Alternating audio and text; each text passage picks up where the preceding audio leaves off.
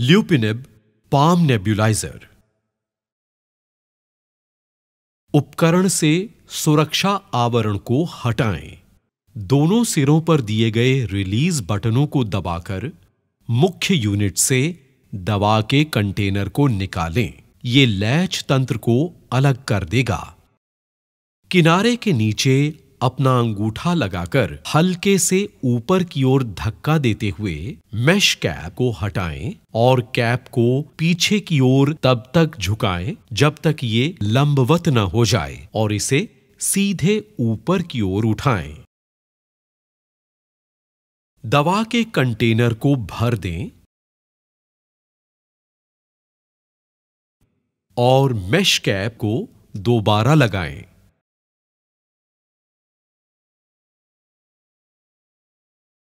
दवा के कंटेनर को मुख्य यूनिट में स्थापित करें। आपको क्लिक की आवाज़ सुनाई देनी चाहिए, ताकि ये सुनिश्चित हो जाए कि दवा का कंटेनर मुख्य यूनिट में कस के बैठ गया है। मास्क अडेप्टर को लें और इसे दवा के चेंबर के ऊपर मुख्य यूनिट में स्थापित करें।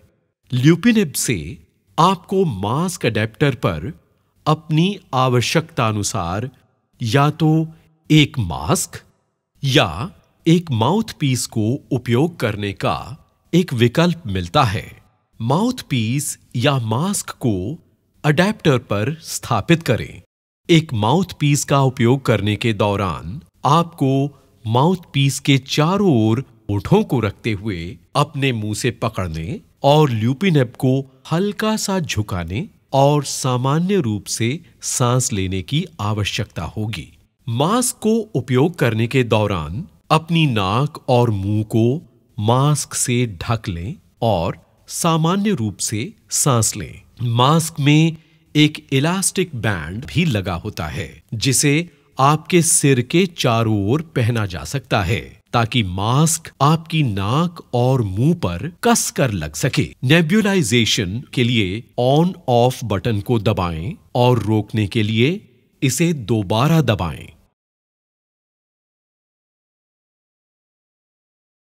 ल्यूपिनेब द्वारा नेब्यूलाइजेशन की दो प्रणालियाँ हैं। Continuous nebulisation mode manual nebulisation mode continuous nebulisation mode के लिए आपको ऑन ऑफ़ बटन को दबाने और नेबुलाइजेशन शुरू करने के लिए इसे जल्दी से छोड़ने की आवश्यकता होगी। नेबुलाइजेशन को रोकने के लिए ऑन ऑफ़ बटन को दोबारा दबाएँ और जल्दी से छोड़ें।